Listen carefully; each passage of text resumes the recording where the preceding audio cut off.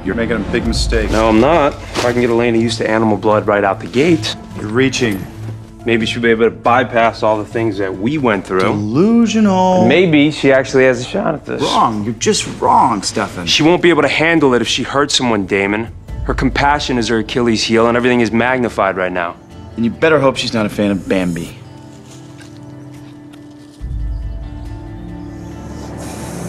Close your eyes.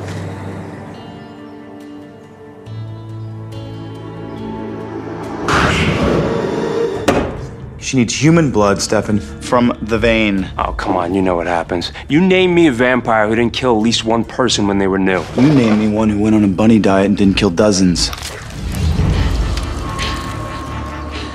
If she kills someone, she will crumble. How much pain do you think she could take before she shuts off her humanity switch? It happens to the best of us at least once. We get over it, Stefan. A hundred years or so. Oh, I think I'd like her to skip that part. She can't learn to control the bloodlust if she's never actually experienced the What are you doing? Knock it off. It's a cheat. It's like giving a kid a calculator before they know math. I said stop.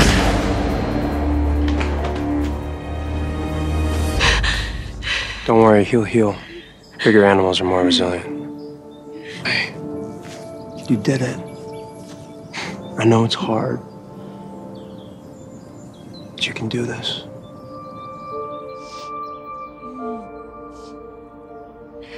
Whoa. What's going on? I was just having a little disagreement about process, right? You're still not on board with the animal plan. Nope. I say rip off the proverbial band-aid and let it bleed. You're a vampire, Elena. Be a vampire. Ready to go? Vampires eat people. It's part of the natural food pyramid. Trust me. You're gonna be miserable. I can't do it. All right, it's like the starting line of a race, right? So you just push off with every ounce of strength that you have, Yeah. I was a cheerleader. I sucked at track. Just concentrate, okay? You can do it. I can't. All I can think about is your hands on my body. Oh, okay. Uh, no, no, no. I didn't. I didn't say to take them off. It feels good. Yeah. What does it feel like? It feels like you're touching every nerve on my body. Hmm. Everything is heightened. Taste, smell, sight.